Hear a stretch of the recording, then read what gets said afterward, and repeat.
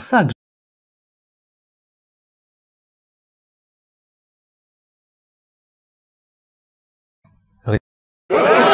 Ce genre de méthode en dit long. C'est une chose.